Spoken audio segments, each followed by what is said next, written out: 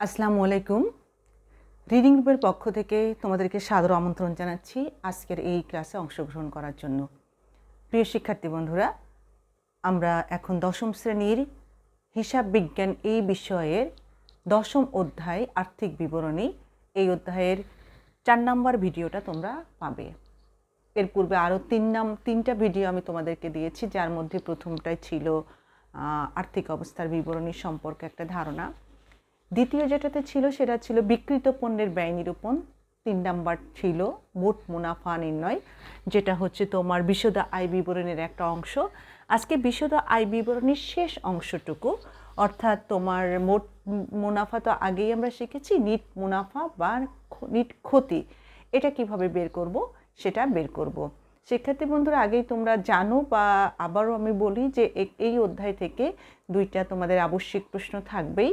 যেখানে তোমাদের এই দুইটা আনসার করতেই হবে। অর্থাৎ মোট এগারোটা যে প্রশ্ন আমাদের থাকে, তার মধ্যে দুইটা আবশ্যিক থাকে এবং সেই দুইটা আবশ্যিকের মধ্যে দশম অধ্যায় থেকেই দুইটা থাকে।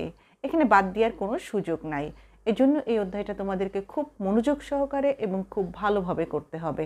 যেহেতু খুব মনোযোগ সহকারে এবং ভালোভাবে করতে হবে, আমিও চেষ্টা করছি ছোট ছোট ভিডিওর মাধ্যমে অল্প অল্প অংশ বুঝিয়ে তোমাদেরকে একটা পর্যায়ে নিয়ে যা, যেখান থেকে তোমরা পরীক্ষায় যেভাবেই প্রশ্ন আসুক না কেন, তোমরা যাতে এই প্রশ্নগুলোর আনসার খুব সহজে করতে পারো।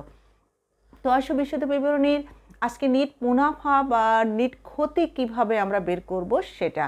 তার আগে আরেকবার আমরা চোখ বুলিয়ে নিব পূর্বের ভিডিওগুলোতে যা ছিল সেখান থেকে। অর্থাৎ বিশদ আয় বিবরণীর প্রথম ধাপে আমরা কি করি? বিশদ আয় বিবরণীর প্রথম ধাপে আমরা নির্ণয় করি নিট বিক্রয়। আমরা নির্ণয় করি নিট বিক্রয়।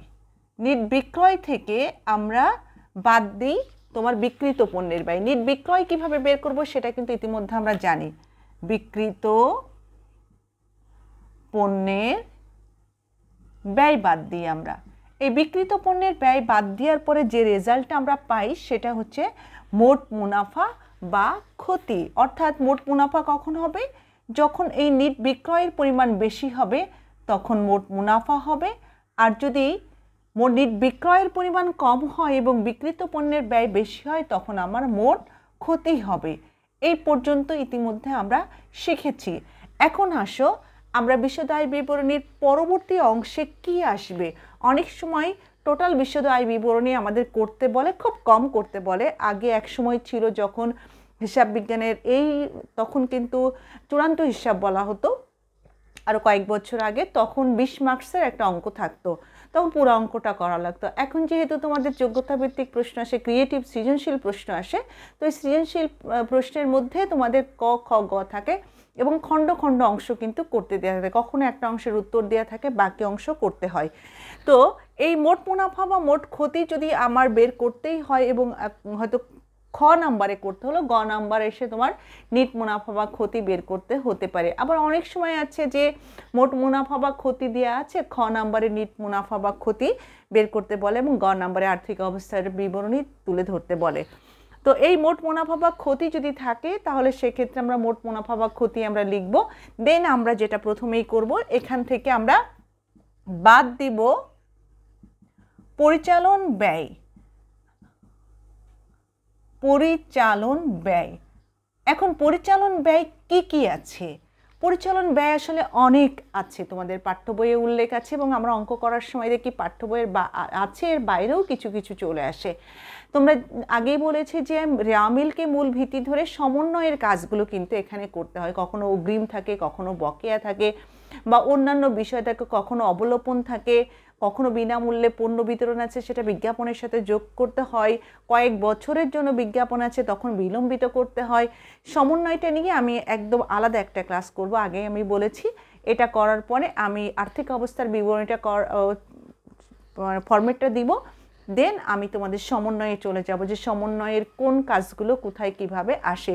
তারপরে হয়তো কিছু সৃজনশীল প্রশ্ন করাবো, দেন আমরা বোর্ডের প্রশ্নগুলো সলভ করব আস্তে আস্তে। এখন আসলে তাহলে পরিচালন ব্যয়। আমরা এই পরিচালন ব্যয় আসলে কি কি আসতে পারে? দেখি আমরা কতগুলো পরিচালন ব্যয়ের কথা এখানে লিখে ফেলি। পরিচালন ব্যয়ের মধ্যে যেগুলো আসতে পারে আমরা আমরা তোমরা আগেই জানো, আমি আগেই বলি নিট বিক্রয় বা বিকৃত পণ্যের ব্যয়টা আমাদের দুই নাম্বার ভিডিওতে আছে, তিন নাম্বার ভিডিওতে মোট মুনাফা বা মোট ক্ষতি এটা বের করা আছে। এখন আমরা পরিচালন ব্যয় বাদ দিব, তাই না? পরিচালন ব্যয় বাদ দিলে যেটা আমরা পাবো সেটা হচ্ছে পরিচালন পরিচালন মুনাফা বা ক্ষতি। পরিচালন ব্যয় বাদ দেওয়ার পরে। এখন পরিচালন ব্যয় কি কি? একটা সময় ছিল আরও দুই তিন বছর আগে ছিল, পরিচালন ব্যয় বাদ দেওয়ার পরে পরিচালন আয় যোগ করতে হতো দেন পরিচালন ব্যয় বাদ দিতে হতো। তখন আমরা পেতাম পরিচালন ব্যয় বা পরিচালন মুনাফা বা ক্ষতি। এখন কিন্তু পরিচালন আয় বলে কোনো কিছু আর নাই। ঠিক আছে? দুই তিন বছর আগে যারা অঙ্ক করেছ, তাদের সঙ্গে এখন আবার মিলবে না। প্রতিনিয়তই পরিবর্তন হচ্ছে এবং পরিবর্তনের সঙ্গে সঙ্গে কিন্তু আমাদেরকে যেতে হচ্ছে। এখন যারা দশম শ্রেণীতে পড়ো, তাদের এই পরিচালন আয় বলে আর কোনো কিছু নাই, সবই অন্যান্য আয়ে চলে গেছে। তাহলে পরিচালন ব্যয়ের মধ্যে কি কি থাকতে পারে? আমি কয়েকটা পরিচালন ব্যয় লিখে দিচ্ছি। তোমরা বাকিগুলো যখন আমাদের অঙ্ক করার সময় আসবে, তখন কিন্তু আমরা করব। পরিচালন ব্যয় কি কি আছে? পরিচালন ব্যয়, আমরা কিছু পরিচালন ব্যয় লিখে দেন আমরা আবার ছকে স্টেপ বাই স্টেপ দেখিয়ে দিব। পরিচালন ব্যয়ের মধ্যে যেমন বিক্রয় পরিবহন থাকতে পারে। বিক্রয় পরিবহনের আরেকটা নাম হচ্ছে বহি পরিবহন। বিক্রয় পরিবহন বা বহি পরিবহন। বহি পরিবহন, আমরা কয়েকটা নাম লিখি। দেন আছে তোমার বেতন। আমি আরও কিছু বলি, তারপরে তোমার আছে অফিসের ভাড়া কিংবা ভাড়া, আমি কতগুলো লিখে রেখেছি, আমি তোমাদেরকে বলছি, তোমরা তোমাদের খাতায় লিখে নিও। বিক্রয় পরিবহন, বেতন, অফিসের ভাড়া কিংবা ভাড়া, বিদ্যুৎ খরচ, অফিস খরচ, প্রদত্ত বার্তা কিংবা শুধু বার্তা আছে ডেবিটেরটা রামিল থেকে যখন আমরা নিব, তখন ডেবিটের বার্তাটা হচ্ছে প্রদত্ত বার্তা এটা হচ্ছে পরিচালন ব্যয়। আর প্রাপ্ত বার্তা যেটা থাকে, ক্রেডিটে যে বার্তাটা থাকে বার্তা ডেবিটে একটা থাকে, ক্রেডিটে একটা থাকে। ডেবিটেরটা হচ্ছে প্রদত্ত বার্তা বা শুধু বার্তাও আমরা বলব, এটা আবার হচ্ছে তোমার বার্তা প্রদান বলা হয়ে থাকে। অনেক সময় কমিশন আছে, ডেবিটেরটা প্রদত্ত কমিশন, ক্রেডিটেরটা হচ্ছে প্রাপ্ত কমিশন। ফেরত দেওয়া আছে, ডেবিটেরটা হচ্ছে বিক্রয় ফেরত, ক্রেডিটেরটা হচ্ছে ক্রয় ফেরত। স্থায়ী সম্পদের মেরামত, যখন স্থায়ী সম্পদ বড় কোনো সম্পদ থাকে, যন্ত্রপাতি থাকে, এই ধরনের আসবাবপত্র থাকে, এই ধরনের স্থায়ী সম্পদ, মোটর গাড়ি থাকে, এগুলো সম্পত্তির মেরামত খরচটা কিন্তু আবার মুনাফা জাতীয়। আবারও মনে করে দিই তোমাদের, এই পরিচালন ব্যয়ে যা আসবে সব কিন্তু মুনাফা জাতীয় ব্যয়। আবারও বলি, পরিচালন ব্যয়ে যা আসবে সব হচ্ছে মুনাফা জাতীয় ব্যয়। এরপরে আছে তোমার ডাক ও তার। তোমার পোস্টেজ যেটা টেলিফোনের খরচ যেটা হতে পারে বা তোমার পোস্ট অফিসের মাধ্যমে যে চিঠিপত্র বিতরণ করে করি আমরা, এগুলো ডাকো তার। বিজ্ঞাপন, মণিহারি মণিহারি কোনগুলো? কাগজ, কালি, কার্বন, এগুলোকে মণিহারি বলা হয়। প্যাকিং খরচ, ভ্রমণ খরচ, বিমা খরচ, স্থায়ী সম্পদের অবচয়, ইজারা সম্পত্তির অবলোপন ইজারা সম্পত্তি দেয়া আছে রেয়ামিলের মধ্যে এবং ব্রাকেটে হয়তো তোমাদের এমন দেয়া আছে। ইজারা সম্পত্তি রেয়ামিলে দেওয়া আছে, ইজারা সম্পত্তি। ব্রাকেটে দেওয়া আছে পাঁচ বছর, এবং এখানে হয়তো দেওয়া আছে, তোমার টাকার ঘরে ডেবিট পাশে দেওয়া আছে বিশ হাজার টাকা। এই পাঁচ দিয়ে ভাগ করলে আমার আসবে চার হাজার টাকা। পাঁচ দিয়ে ভাগ করলে আসবে আমার চার হাজার টাকা। এই চার হাজার টাকাটা হচ্ছে আমার মুনাফা জাতীয় ব্যয়। এটাকে বলা হয় ইজারার সম্পত্তির অবলোপন। অর্থাৎ পাঁচ বছরের জন্য সম্পত্তিটা ইজারা বা লিজ নেওয়া হয়েছে, সেক্ষেত্রে চলতি বছরের অংশটা আমার মুনাফা জাতীয় ব্যয়। বাকিগুলো আমার সম্পদ হিসাবে স্থায়ী সম্পদে বসবে। এরপরে আছে সুনামের অবলোপন। সুনামও ঠিক একইভাবে হয়তো সুনাম দিয়েছে পাঁচ বছরের জন্য। চলতি বছরের এক বছরের অংশটা এখানে অবলোপন হবে এবং এক বছরের অংশটা হচ্ছে মুনাফা জাতীয় ব্যয়। কমিশন প্রদান, যেটা একটু আগে আমি বলছিলাম যে কমিশন শুধু দিয়ে আছে, শুধু কমিশন লেখা আছে, ডেবিটেডটা হচ্ছে প্রদত্ত কমিশন, ক্রেডিটেডটা হচ্ছে প্রাপ্ত কমিশন। শুল্ক, শুধু শুল্ক থাকলে এটা আমার যাবে, বিকৃত পণ্যের ব্যয়ে বাট রপ্তানি শুল্ক কথাটা থাকলে আসবে আমার পরিচালন ব্যয়ে। ব্যাংক চার্জ ব্যাংকে টাকা জমা রাখি, আমরা সুদ পাই, সেটা কিন্তু আমাদের জন্য আয়। আর যদি ব্যাংক তাদের পরিচালনার জন্য ব্যাংকের খরচ নির্বাহ করার জন্য আমি যে টাকা ব্যাংকে জমা দিয়েছি, সেখানে আমি মাসে মাসে টাকা উঠাচ্ছি, আমি ডেবিট কার্ড ক্রেডিট কার্ড ব্যবহার করে টাকা উঠাচ্ছি, তাদের তো কিছু খরচ আছে, তাই না? এই খরচটা তোমার জমা টাকার উপর থেকে কিন্তু কেটে নেবে। এটাকে ব্যাংক চার্জ বলা হয় এবং এটা পরিচালন ব্যয়। ব্যাংকে যে টাকাটা জমা থাকবে, ব্যবসা প্রতিষ্ঠানের যে টাকাটা জমা থাকবে, সেই টাকার উপরে যে ব্যাংক চার্জটা হবে সেটা। কারণ কোনো মালিকের বা পরিবারের অন্য কারোর ব্যক্তিগত যে ব্যাংক অ্যাকাউন্ট আছে বা ব্যাংকে যে জমা টাকাটা আছে সেই টাকার উপরে কিন্তু যে চার্জ হবে সেটা না। আবারও বলি, ব্যবসা প্রতিষ্ঠান সংশ্লিষ্ট যে ব্যাংক জমাটা আছে বা ব্যাংকের যে হিসাবটা আছে সেই হিসাবের উপরে যে ব্যাংক চার্জটা হবে সেটা হচ্ছে পরিচালন ব্যয়। আপ্যায়ন খরচ। একটা ব্যবসা প্রতিষ্ঠান পরিচালনা করার জন্য বিভিন্ন আপ্যায়ন খরচ হয়ে থাকে। মালিক যদি ব্যক্তিগত টাকা দিয়ে আপ্যায়ন খরচ করে, সেটা কিন্তু আসবে না এখানে। বাট মালিক যদি ব্যক্তিগত টাকা খরচ করে কারবারে সেটাকে লিখে রাখে, তখন ওই টাকাটা মূলধন হিসেবে আসবে এবং আপ্যায়ন খরচটা মুনাফা জাতীয় ব্যয় আসবে।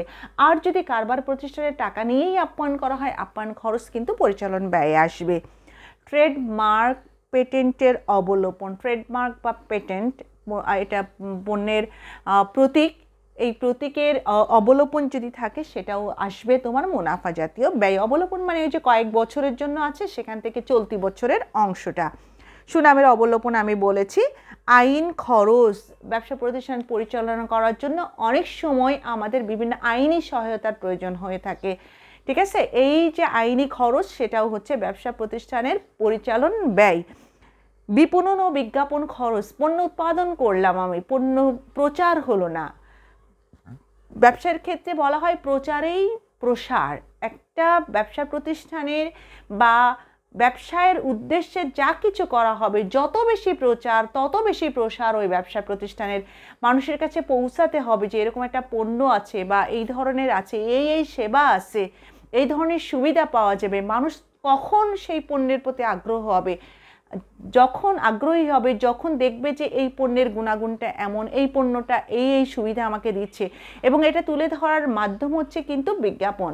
তাহলে বিপণন হচ্ছে পণ্যটাকে আমি একদম একদম র মেটেরিয়ালস থেকে শুরু করে পণ্যকে একদম ভোক্তার হাতে পৌঁছে দেওয়া পর্যন্ত যত ধরনের খরচ আছে সব বিপণনের অন্তর্ভুক্ত। এরপরে আছে উপযোগ খরচ, প্রশিক্ষণ ভাতা আর কুরিন বা অনাদায়ী পাওনা, কুরিন বা অনাদায়ী পাওনার চমৎকার সমন্বয় আছে এবং এই সমন্বয়টা ছেলেমেয়েরা অনেক সময়, বেশিরভাগ সময় ভুল করে, বুঝতে চায় না। আমি যখন সমন্বয় নিয়ে আলোচনা করব, তখন এটা নিয়ে আমি আলোচনা করব। তাহলে আমি ফর্মেটে ফেরত যাই এবং ফর্মেটে ফেরত গিয়ে আমি যেগুলো বললাম, তোমাদের যদি লাগে এইগুলো যে কি কি পরিচালন ব্যয় আছে, তোমাদের পাঠ্য বইয়ে আছে এবং কিছু এক্সট্রাও লেখা হয়েছে, তোমরা এটা ভিডিওটা টেনে টেনে তোমরা লিখে নিও লিখে নিও খাতায় এবং কয়েকবার করে পড়ে নিও, তাহলে দেখবা। আরেকটু বলি, আমরা পরিচালন ব্যয়ের সঙ্গে যদি আমার কোনো সমন্বয় থাকে সেই সমন্বয়ের কাজটা কিন্তু আমাকে অবশ্যই করতে হবে। তাহলে আমি বিশদ আয় বিবরণীর ছকে ফেরত যাই। আমরা কোন পর্যন্ত আসলাম সেটা কিন্তু তাহলে বুঝতে পারব। খেয়াল করো, বিশদ আয় বিবরণীর আমরা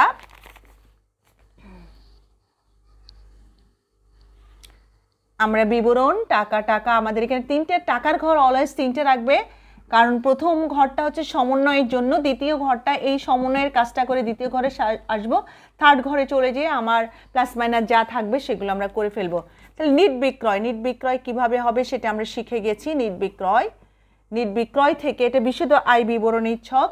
এখানে কার বিশুদ্ধ আয় বিবরণী সেটা লিখতে হবে। এত সালের, এত তারিখের সমাপ্ত বছরের জন্য শিরোনাম মানে অবশ্যই তোমাকে শিরোনাম লিখতে হবে কিন্তু। শিরোনাম না লিখলে একজন এক্সামিনার তোমার চার নাম্বারের মধ্যে এক নাম্বার কেটে নিতে পারে। ঠিক আছে? শিরোনাম অবশ্যই এবং অবশ্যই লিখতে হবে। বারবার বলছি, শিরোনাম কিন্তু অবশ্যই লিখতে হবে। এখান থেকে আমরা বাদ দেব বিকৃত পণ্যের ব্যয়। বিকৃত পণ্যের ব্যয়। এটা বাদ দেওয়ার পর আমরা নির্বিক্রয় শিখে গেছি, বিকৃত পণ্যের ব্যয় শিখে গেছি। এখানে যেটা পাবো, মোট মুনাফা অর ক্ষতি। আবারও বলি, নির্বিক্রয় কম হলে ক্ষতি হবে, মোট মুনাফা অবলিক ক্ষতি। এখান থেকে আমি বাদ দিলাম পরিচালন ব্যয়। পরিচালন ব্যয় কোনগুলো? যা এতক্ষণ ধরে আমি বললাম, সেটাই হচ্ছে তোমাদের পরিচালন ব্যয়। এই পরিচালন ব্যয় বাদ দেওয়ার পরে যে রেজাল্টটা আমি পাবো, সেই রেজাল্টটাকে বলব আমি, সেই রেজাল্টটাকে আমি বলব, পরিচালন ব্যয় বাদ দিব দেখো পরিচালন ব্যয় বাদ দিয়ে যে রেজাল্টটা আমি পাচ্ছি সেটা হচ্ছে আমার পরিচালন মুনাফা অর ক্ষতি। পরিচালন মুনাফা অর ক্ষতি। উপরেরটা যদি বড় ছোট হয় এবং নিচে যে পরিচালন ব্যয়টা যদি আমার বড় হয়ে যায় সেক্ষেত্রে কিন্তু ক্ষতি আসবে। এর সঙ্গে আমরা যোগ করব অন্যান্য আয়। এখন আমরা দেখব যে অন্যান্য আয় কি কি আছে। আমরা এই পরিচালন, মুনাফা কিংবা ক্ষতি যাই আসুক না কেন, এর সাথে যোগ করব অন্যান্য আয়। আগে যারা অঙ্ক করেছ, দুই বছর, তিন বছর আগে, তারা কিন্তু এখানে তোমরা অন্যান্য আয় ছিল, তখন ছিল পরিচালনা আয় এবং অপরিচালন আয়। এখন সেই পরিচালনা, অপরিচালন আয় টা বাদ দিয়ে একবারে চলে আসছে অন্যান্য আয়। এটা শিক্ষার্থীদের জন্য একটু ভালো সুবিধা হয়েছে। যদিও পরিচালনা আয় খুব কম ছিল, পরিচালনা আয় মাত্র দুইটা ছিল প্রদত্ত, প্রাপ্ত বার্তা এবং প্রাপ্ত কমিশন। এখন সবগুলোই অন্যান্য আয় আসছে। তাহলে আসো, অন্যান্য আয়ে কি কি আছে আমরা একটু দেখি। অন্যান্য আয় আসে আসে ব্যাংক জমার যে সুদটা আমরা পাই। অর্থাৎ ব্যাংক আমানতের সুদ। ব্যাংকে আমি টাকা জমা রেখেছি সেই টাকাটা আমার টাকা না ব্যবসা প্রতিষ্ঠানের টাকা, যে টাকাটা জমা রাখা হয়েছে, সেই টাকা থেকে যে সুদটা পাবো, সেটা হচ্ছে ব্যাংক আমানতের বা ব্যাংক জমার সুদ। এটা কারবার প্রতিষ্ঠানের জন্য আয়।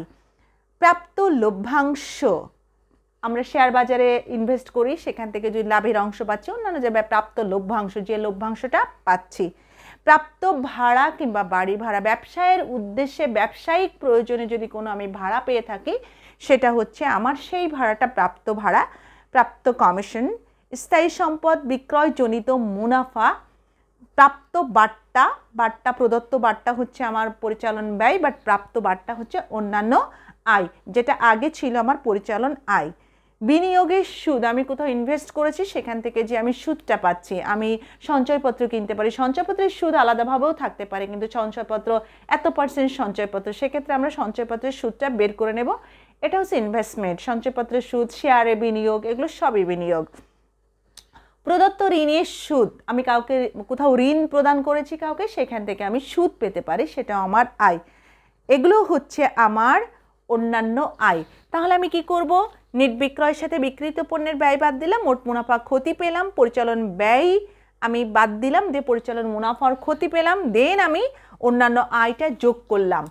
অন্যান্য আয় যোগ করার পরে আমি, এখন তুমি বলতে পারো যে, টিচার, আমি যদি এটা এখানে নিয়ে যাই, কোনো সমস্যা আছে? না, কোনো সমস্যা নেই। এই যোগফলটা তুমি নিয়ে যে লাস্ট লাইনেও করতে পারো। এখানে যেহেতু আমার অন্যান্য আয় অনেকগুলো থাকলে সমন্বয়ের কাজটা আমি এখানে করতাম, এখানে যোগ করে ঠিকই থার্ড কলামে নিয়ে যেতাম। এটা অঙ্কের প্রয়োজনে কোন কলামে কাজ হবে সেটা কিন্তু তুমি নির্ধারণ করে নেবে। তবে অবশ্যই সমন্বয়ের কাজটা কিন্তু ফার্স্ট কলামে আসবে। যত সমন্বয় আছে, সব সমন্বয়ের কাজগুলো ফার্স্ট কলামে আসবে। অন্যান্য আয় যোগ করব, অন্যান্য আয় যোগ করে আমি থার্ড কলামে লিখলাম, অন্যান্য আয়, এখন আমি যেটা করব, বাদ দিব অন্যান্য ব্যয়। আমার পরিচালন সংশ্লিষ্ট বাদেও আরও কিছু ব্যয় থাকতে পারে। এই ব্যয়টা তখন আমি এখান থেকে বাদ দিব। এখন অন্যান্য ব্যয় কি কি আছে, সেটা আমরা তোমাদেরকে এখন বলব। এবং এটা হয়ে যাওয়ার পরে যে রেজাল্টটা পাবো, সেটা হচ্ছে আমার নিট মুনাফা অর ক্ষতি। এটাই হচ্ছে আমার বিশদ আয় বিবরণী। এটাই হচ্ছে আমার বিশদ আয় বিবরণীর লাস্ট স্টেপ খেয়াল করো, এখন তোমার দেখো অন্যান্য ব্যয় কী কী আছে। অন্যান্য ব্যয় কী কী আছে আমি এখানে লিখে রেখেছি, আমি তোমাদেরকে বলব। অন্যান্য ব্যয় হচ্ছে তোমরা লিখে নিতে পারো, স্থায়ী সম্পদ বিক্রয়জনিত ক্ষতি ঋণপত্রের সুদ, ঋণ বা ব্যাংক ঋণের সুদ ব্যাংক থেকে ঋণ নিলে তার সুদটা ব্যাংক জমাতৃক্তের সুদ, ব্যাংক জমাতৃক্ত চলতি হিসাবের ক্ষেত্রে ব্যাংক জমাতৃক্ত হয়ে থাকে এবং ব্যাংক জমাতৃক্তের সুদ, এটা হচ্ছে অন্যান্য ব্যয়, চুরি বা দুর্ঘটনাজনিত ক্ষতি। ব্যবসা প্রতিষ্ঠান থেকে অনেক কিছু চুরি হতে পারে, আগুনে পণ্য পুড়ে যেতে পারে, আগুনে কিছু পণ্য বিনষ্ট হতে পারে, তারপরে পণ্য কিনে আনার সময় জাহাজ ডুবি হতে পারে, রাস্তায় দুর্ঘটনা হতে পারে, এগুলো সব হচ্ছে অন্যান্য ব্যয়। এটা ব্যবসা প্রতিষ্ঠানের পরিচালনার সঙ্গে সরাসরি জড়িত না বাট এই ক্ষতি বা ব্যয়টা ব্যবসা প্রতিষ্ঠান থেকেই নির্বাহ করা হয়। এখন আসো, আমরা আরও কিছু, যেমন পরিচালন ব্যয়, বিমা প্রিমিয়ামের কথা, বিমা খরচ অবশ্য বলছি, বিমা প্রিমিয়াম বা খরচ একই কথা। এখন আমরা এভাবে তাহলে বিশদ আয় বিবরণীটা শেষ করব। এখন তোমরা যখন অঙ্ক করবে, এর পরের ভিডিওতেই চলে আসবে। আর্থিক অবস্থার বিবরণী এবং আর্থিক অবস্থার বিবরণীটা যেটা হচ্ছে পাঁচ নম্বর পর্বে যাবে আর্থিক অবস্থার বিবরণী দেন আমি সমন্বয় নিয়ে তোমাদের আরেকটা ক্লাস নিব। তো প্রিয় শিক্ষার্থী বন্ধুরা, তোমরা, আমরা চারটা ভিডিওর মাধ্যমে মোটামুটি একটা ধারণায় আসতে পেরেছি যে বিশুদ্ধ আয় বিবরণী পর্যন্ত কোন কোন স্টেপ মেনটেন করে আমাকে ম্যাথটা করতে হবে। ভালো করে কিন্তু সমন্বয় পড়বে একটা প্রশ্ন হাতে পাওয়ার পরপরই তোমরা চোখ বুলিয়ে নিবে যে এখানে কি কি আছে এবং কোনটার সঙ্গে সমন্বয় আছে। রেয়ামিলে যার সঙ্গে সমন্বয় আছে, তার পাশেটা টিক চিহ্ন অর এরকম স্টার চিহ্ন যে কোনো একটা কিছু দিয়ে রাখবে যাতে কোনোভাবে মিস না হয়। আবার আমি বলি, রেয়ামিলের প্রত্যেকটা যে দফা বা হিসাবটা আছে, সেটা একবার বসে গেলে সেকেন্ড টাইম কিন্তু আর বসবে না। বাট সমন্বয়ের বিষয়গুলো কিন্তু যে কোনো দুই জায়গায় বসবে, এটা মাথায় রাখবে। তোমার যখন ভেঙে ভেঙে অঙ্ক করছ, যে মোট মুনাফা করছ, আর্থিক অবস্থার বিবরণী করছ না, তখন হয়তো তোমার এক জায়গায় তুমি বসাচ্ছ বাট আরেক জায়গায় বসবে কি না সেটাও মাথায় রাখতে হবে তোমাকে। আর এই চ্যাপ্টারটা ভালো করে পারার জন্য তোমাকে কিন্তু বারবার অধ্যায়ের প্রথম থেকে শুরু করে শেষ পর্যন্ত কয়েকবার কিন্তু রিডিং পড়বে তুমি। যে জায়গাটা তুমি বুঝতে না পারবে, সেই জায়গাটা আন্ডারলাইন করে বোঝার চেষ্টা করবে। টিচারদের সহযোগিতা চাইবে। আর যদি কোনো কিছু জানার থাকে আমার ভিডিও নিচে তোমরা লিখে দিও, আমি চেষ্টা করব তোমাদেরকে বুঝিয়ে দেওয়ার জন্য। তো শিক্ষার্থী বন্ধুরা, আমরা আর্থিক বিবরণীর চতুর্থ ভিডিও চতুর্থ পর্ব আজকে শেষ করলাম এবং এই চতুর্থ যে পর্বটা শেষ করলাম, এই পর্বের মধ্য দিয়ে বিশুদ্ধ আয় বিবরণী শেষ হলো। এবং আমার বিশ্বাস যে বিশুদ্ধ আয় বিবরণী সমন্বয়ের ক্লাসটা করার পরে তোমরা আরও ক্লিয়ার পাবে।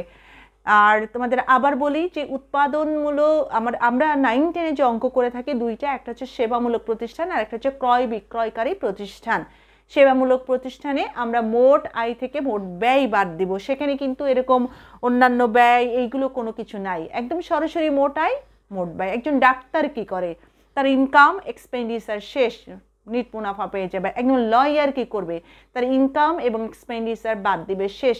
তার ইনকামটা থেকে তার ব্যয়গুলো বাদ দেবে নিট মুনাফা পেয়ে যাবে। ঠিক আছে? বাট যখন আমরা ক্রয় বিক্রয়কারী প্রতিষ্ঠান হবে, তখন কিন্তু অবশ্যই আমাকে এই স্টেপগুলো মেনটেন করে অঙ্ক করতে হবে। তোমরা চেষ্টা করো এবং তোমাদের সহযোগিতার জন্য আমরা পাশে আছি। তোমরা ভালো থাকো। আমার জন্য দোয়া করবে। তোমাদের জন্য আমার শুভকামনা। আল্লাহ হাফেজ।